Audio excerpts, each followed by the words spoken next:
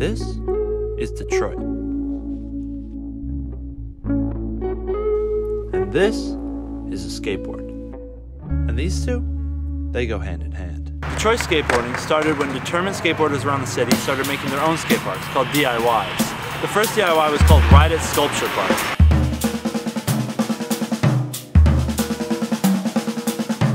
Another DIY park called The Wig was built in 2014 and was skated until it was demolished in late 2019.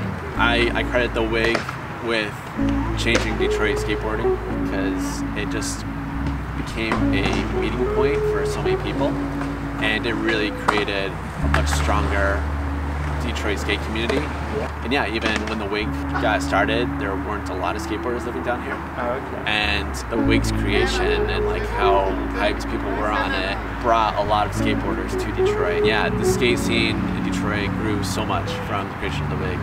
And um, yeah, and it's continued to grow thanks to these DIYs Yeah. like the Wig and now Bishop. The DIY spirit of Detroit cannot be stopped, and they built this skate park called Bishop Skate Park.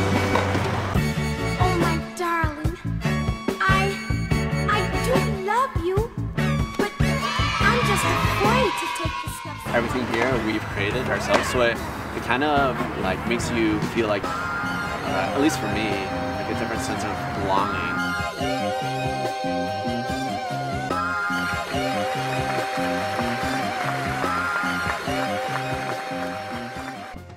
A lot of skate parks these days are also started with help from the Tony Hawk Foundation.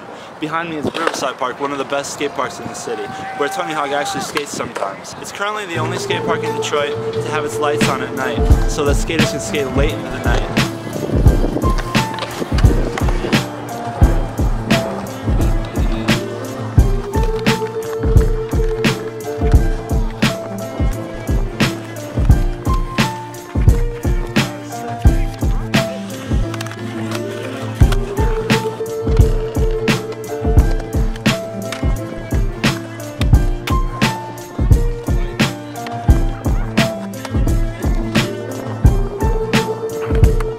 This behind me is another skate park started with the help of the Tony Hawk Foundation. It's in Chandler Park, Detroit.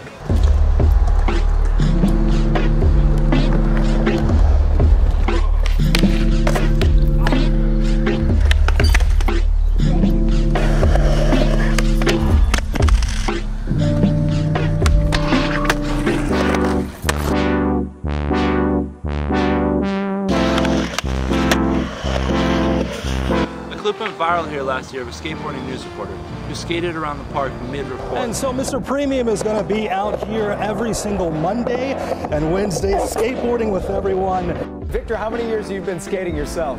A long time. It's been about, I don't know, since I was eight years old, so I love it. Wow. That's what you just blew Karen's mind. How do the local shops help the skate community?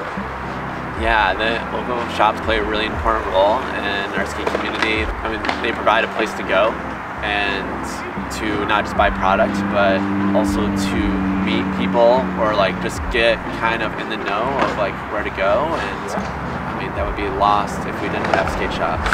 And uh, luckily in the Detroit area, we have a lot of really good ones. With shops like Plus, People, and Olympia, the skateboarding scene here in Detroit is sure to thrive for years to come. Thank you.